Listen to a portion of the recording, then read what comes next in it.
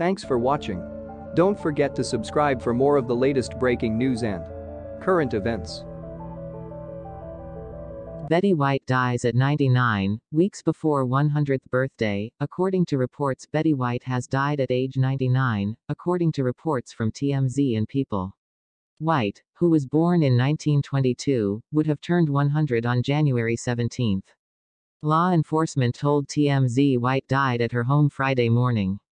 Betty White attends the SNL 40th anniversary special in New York.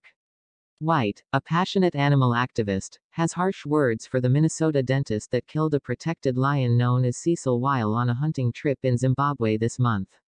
You don't want to hear some of the things I want to do to that man, said the 93 year old actress in an interview Thursday, July 30th. White was promoting a new block of programming on Discovery Family Channel called Pawgust throughout the month of August, with shows, specials, and movies about animals.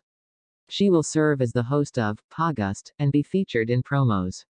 A new coffee table book celebrating White's life and career was recently published as she neared the century milestone. The book by a veteran entertainment journalist details White's journey in Hollywood, including hosting an early variety talk show. Carol Burnett and Candice Bergen are among those interviewed for the book, written by Ray Richmond and titled, Betty White 100 Remarkable Moments in an Extraordinary Life. A look back at the storied life of the beloved actress, comedienne her witty style gave life to a roster of quirky characters over more than a half century. They included the oddball Rose Nylund in The Golden Girls, and the outspoken caretaker on Hot in Cleveland. She also drew laughs in the 2009 comedy, The Proposal, and the horror spoof, Lake Placid.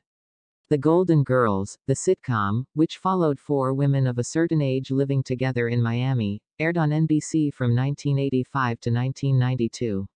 Nearly 35 years later, it continues to gain new fans and has inspired a wave of merchandising.